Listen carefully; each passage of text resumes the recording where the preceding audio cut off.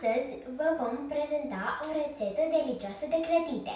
Am spart patru ouă pe care am să le torn în acest bol mare.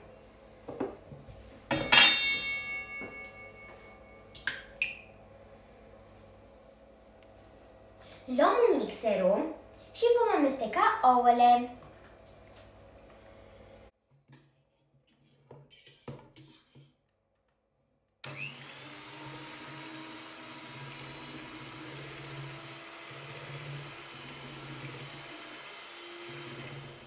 Acum o să punem două pliculețe de zahăr vanilat. Haide, Mati!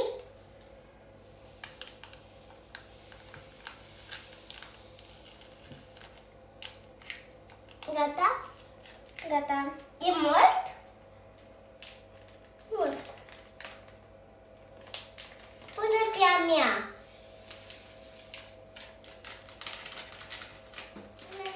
Iar acum le vom amesteca.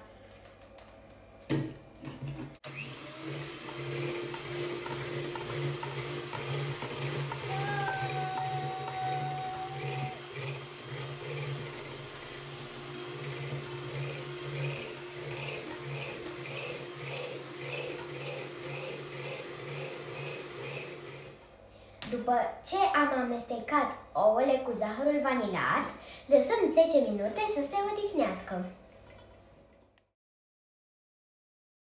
În acest bol avem o portocală stoarsă și o coajă de lămâie rasă.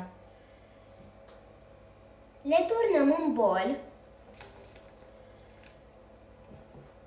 Amestecăm din nou tot conținutul.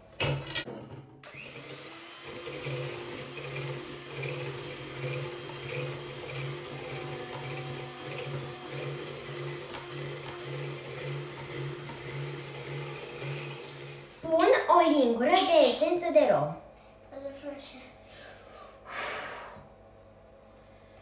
Tate, fă așa.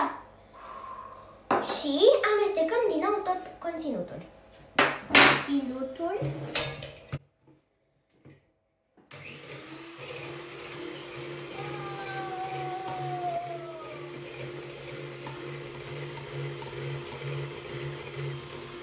Zeama de portocală, coaja de lămâie și esența de rom dau un gust delicios clătitelor. Într-un bol am topit 100 de grame de unt. Îl vom turna în bol.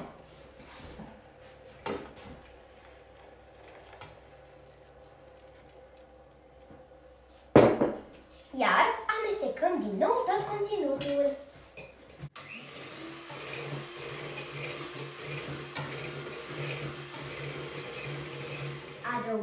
Adăugăm o lingură de zahăr pentru a fi mai dulci.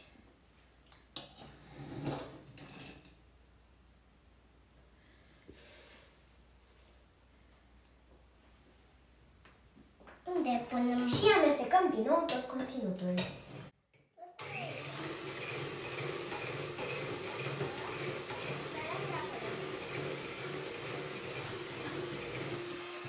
Adăugăm 400 de ml de lapte rece.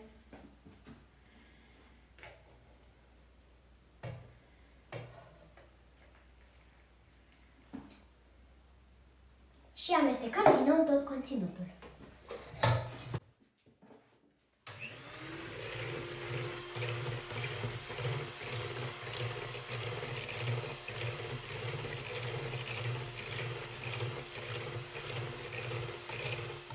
Adăugăm 400 de grame de făină strecurată, în timp ce amestecăm încet, încet. Haide, Mati? Un pic, câte un pic, da?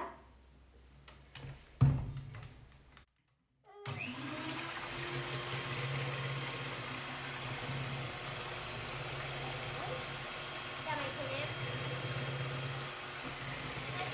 Da, mai punem.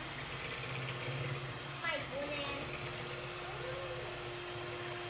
Mai punem. E bun?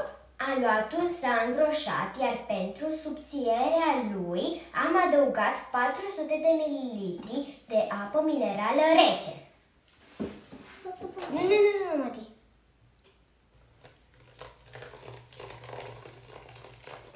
Nu umbla. Mati, dă drumul. Mult, mult. Mestecăm vreo 5 minute.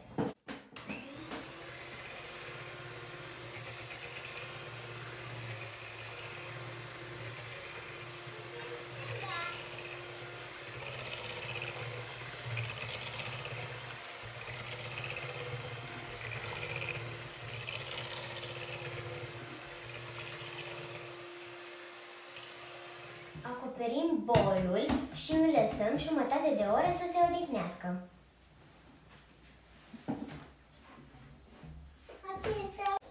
După ce am lăsat aluatul să se odihnească jumătate de oră, luăm un polonic și îl amestecăm.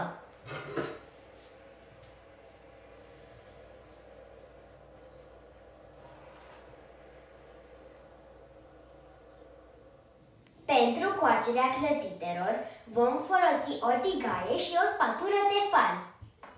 Pornim plita și setăm la o temperatură medie.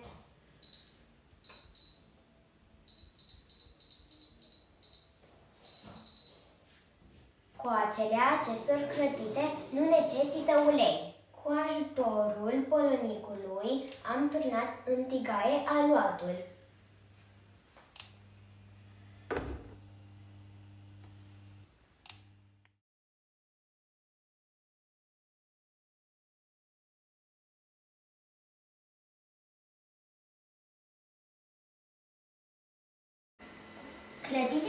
Gata, vă doresc poftă bună! Pa!